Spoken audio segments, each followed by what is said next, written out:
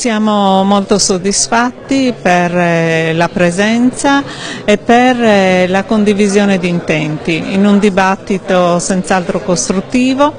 che ha messo in evidenza anche criticità che ci sono a livello gestionale ma che senz'altro hanno dato merito alla Regione Sardegna per le risorse che eh, ha investito in questa legislatura e per la lungimiranza avuta nella